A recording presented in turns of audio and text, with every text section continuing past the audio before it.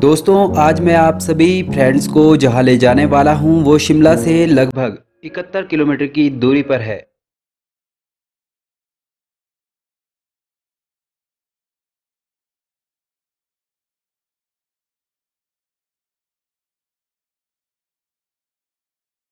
जो कि एकदम पहाड़ी के ऊपर स्थित है और जिसे कि इलाके की सबसे ऊँची और खूबसूरत पहाड़ी के नाम से भी जाना जाता है।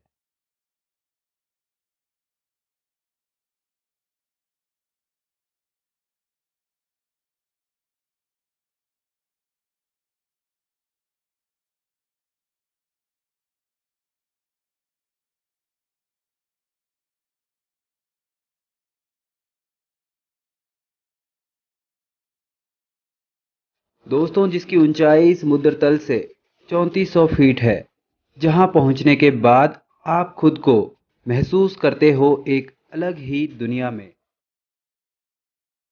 मानो आप स्वर्ग की सैर कर रहे हो, दोस्तों।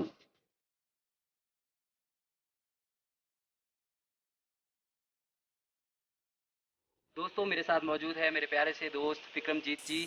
तो विक्रमजीत जी, स्वागत है आपका हमारे यूट्यूब चैनल पर। थैंक यू भैया। तो विक्रमजीत जी हम आपसे जानना चाहेंगे कि आप कितने सालों से इस मंदिर में आते हैं? भैया मैं एक्चुअली यहाँ तीन चार बार आ चुका हूँ। अपने कजन्स वगैरह के साथ हम ज़्यादातर घूमने जाते तो यहाँ भी आते जाते रहते हैं।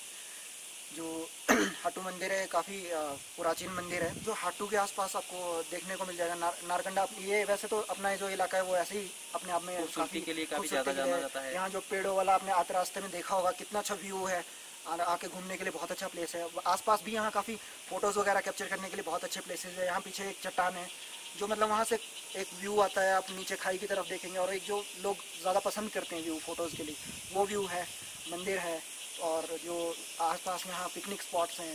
नीचे भी आपने देखा होगा, एक दो पिकनिक स्पॉट्स हैं। वहाँ पे बैठ के आप इंजॉय कर सकते हो, अपनी फैमिली के साथ आ सकते हो फ्रेंड्स के साथ आ सकते हो। और मंदिर का काफ़ी शांत माहौल है, पहाड़ी इलाका है तो शांति भी पूरी है। तो आप हर तरह से यहाँ पे आके इंजॉय कर सकते हो। मैं आपसे जानना चाहूँगा कि पहले के मुताबिक आपको आज का जो समय है उसमें क्या बदलाव देखा?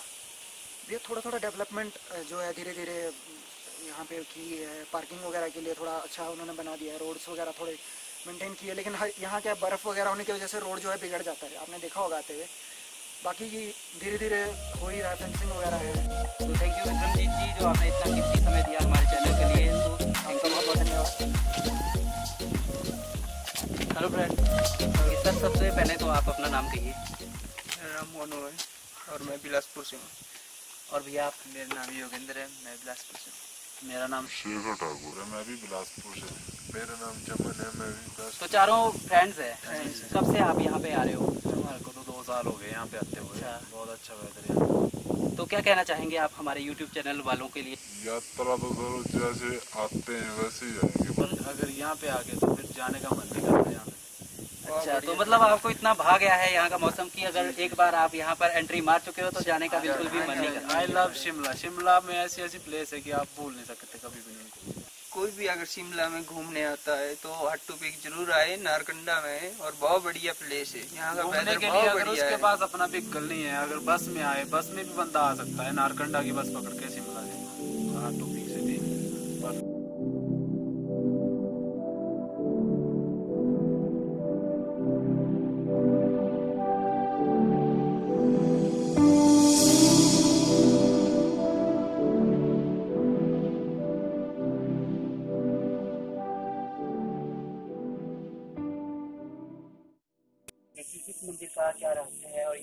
से स्थापित हुआ।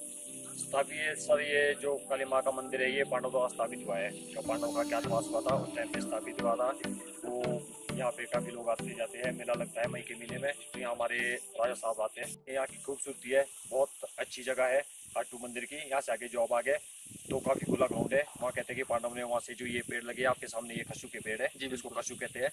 तो ये हम वैसे हमारे लकड़ी के काम ही आता है जलाने के काम। बाकी इसका कुछ वैसे काम नहीं है इसमें कोई फल वगैरह नहीं होता है। तो ये पे कहते हैं कि पांडव ने यहाँ से उखाड़ के ये पिंजौर में फेंके थे। तो ये वहाँ पे एक पिंजौर में भीम कुआँ बना हुआ है तो वहाँ पे ये स्थित हुए। अभी भी अब मतलब अभी भी देखने के लिए आपको तो बाकी अब जैसे कहते हैं कि अब यहाँ से अब ये घर उन्होंने पांडव ने वहाँ पिंजौर में फेंके तो वहाँ का आम यहाँ नहीं लग सकता है। तो ये पेड़ एक्चुअली वहाँ नहीं हो सकते। तो इसका ये मेन प्रमाण ये है कि पांडव द्वारा ये वहाँ पे फेंके गए थे ये पेड़ जो टूरिस्ट है वो किस मौसम में यहाँ की सैर करें? टूरिस्ट का ऐसा है यहाँ पे मई और जून दो महीने ऐसे होते हैं कि यहाँ पे काफ़ी अच्छा मौसम होता है। और यात्राएँ ये यात्राएँ पूरी होती है यहाँ पे मेला चल, चलता है एक पूरे एक महीने चलता है। तो यहाँ पे लोग काफ़ी ज़्यादा आते हैं दो महीने में मई और जून में। फिर आगे अब जैसे अभी एक महीना चल रहा है अगस्त और सितंबर अगस्त और सितंबर में थोड़ा ऐसा कि थोड़ा क्लाउड भी होता है तो बरसात भी बढ़ती है इस वजह से लोगों का आना जाना भी कम होता है। तो फिर आगे फिर सितंबर अक्टूबर नवंबर हो गया ये तीन महीने ऐसे कि आप लोग आ सकते हैं और- और अपना पूरा पूरा एंजॉय ले सकते हैं। सब कुछ यहाँ पे हो सकता है मतलब अरे भाई अरे परे सारा व्यू क्लियर दिखता है। हाँ जी। अप्रैल तक यहाँ पे बर्फ़ पड़ती रहती है। तो उसके बाद फिर ऐसा है कि हम यहाँ नवरात्र के लिए मंदिर खोलते हैं क्योंकि इस- ये पूरी सर्दियों में ये भी बंद रहता है। यहाँ कम से कम बारह पंद्रह फीट बर्फ़ हर साल पड़ती ही पड़ती है। सर अपनी तरफ़ से कुछ हमारे सुनने वालों के लिए बोलना चाहेंगे? कि जो। यहाँ पे श्रद्धालु लोग हैं माता रानी के प्रांगण में आए और माता रानी से अपना आशीर्वाद ग्रहण करे और बाकी यहाँ की जो खूबसूरती है यहाँ मैं लोगों से सिर्फ़ ये निवेदन करना चाहूँगा कि जो भी टूरिस्ट नीचे से आता है वो यहाँ पे सफ़ाई का विशेष ध्यान रखे, क्योंकि मैं मैक्सिमम यहाँ पे कई लोग ऐसे आते हैं, हमने खुद भी देखा है कि मतलब आते हैं यहाँ पे और वो लोग अपना खाना पीना करते हैं तो उसको कई बार अपना कागज़ कूड़ा, कचरा वगैरह वहीं पे छोड़ देते हैं। सफ़ाई का विशेष ध्यान रखें।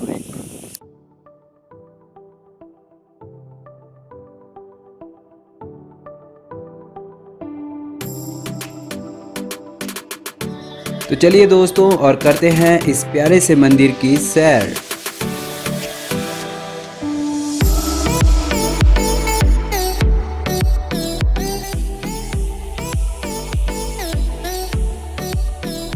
इस नज़ारे को देख बस मेरा मन यही कहता है दोस्तों कि एक शायरी हो जाए इस बेहतरीन शाम के नाम।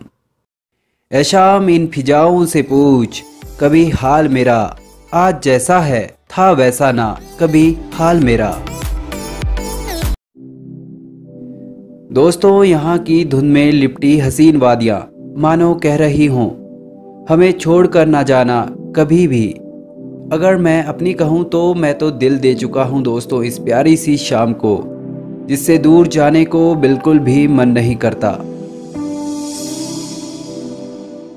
पर क्या करें फ्रेंड्स जाना तो पड़ेगा ही हमें इस नज़ारे को छोड़कर दोस्तों तो ये थी हमारी आज की वीडियो आप सभी फ्रेंड्स को कैसी लगी हमें कमेंट बॉक्स में लिखना मत भूलें ਫਰੈਂਡਸ ਪਰ ਉਸ ਤੋਂ ਪਹਿਲਾਂ ਤੁਸੀਂ ਸਾਡੇ ਚੈਨਲ ਨੂੰ ਸਬਸਕ੍ਰਾਈਬ ਕਰ ਦਿਓ ਵੀਡੀਓ ਨੂੰ ਲਾਈਕ ਕਰ ਦਿਓ ਤੇ ਬੈਲ ਆਈਕਨ ਤੋਂ ਦਬਾਉਣਾ ਬਿਲਕੁਲ ਮਤ ਭੁੱਲਿਓ ਭਾਈਓ ਕਿਉਂਕਿ ਭਰਾਓ ਇਹ ਕਰਨੇ ਦੇ ਬਾਅਦ ਤੁਹਾਨੂੰ ਮਿਲੂਗੀ ਸਾਡੀ ਵੀਡੀਓਜ਼ ਸਭ ਸੇ ਔਰ ਸਭ ਸੇ ਪਹਿਲੇ ਜੀ ਹਾਂ ਬਾਏ ਬਾਏ ਫਰੈਂਡ ਜੈ ਮਾਤਾ ਦੀ